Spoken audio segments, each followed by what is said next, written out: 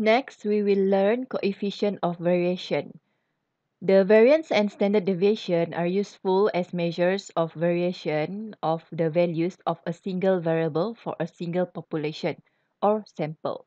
If you want to compare the variation of two variables, we cannot use only the variance or the standard deviation because the variables might have different unit or might have different mean.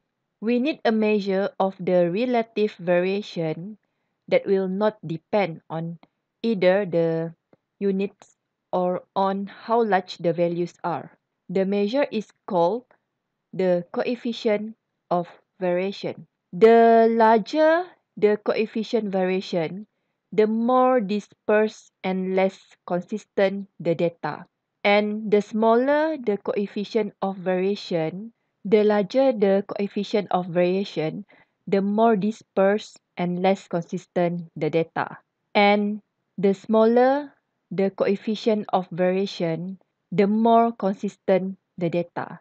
So the formula to find coefficient of variation is equal to standard deviation divided by mean times 100%. Example 26, find the coefficient of variation for A and B, then compare the dispersions in the two samples A and B. Okay, for sample A, first step you need to find the mean. So the formula to find mean because this one is raw data.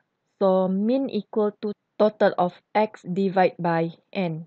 So total of x, the total of 12 until 20 and then number of sample is 1, 2, 3, 4, 5, 6 divided by 6 97 divided by 6 equal to 16.1667.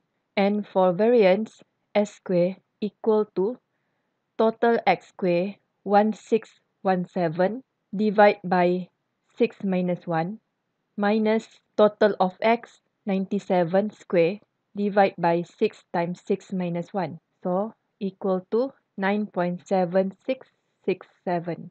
And then the standard deviation is equal to square root of variance.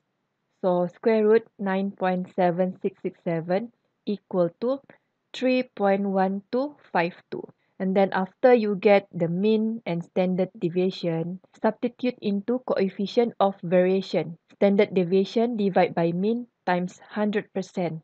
3.1252 divided by 16.1667 times 100% equal to 19.33%. Okay, next for sample B, the same thing, find the mean and variance and then find the standard deviation. 153.1667 for the mean and standard deviation equal to 25.2936. So the coefficient variation equal to 16.51%. Comparing the coefficient of variation for both A and B, sample A has larger relative dispersion coefficient of variation than sample B. Hence, sample A is less consistent than sample B.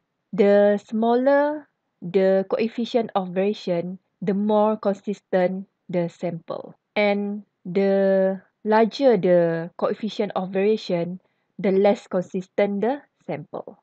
So that's why sample A is less consistent than sample B.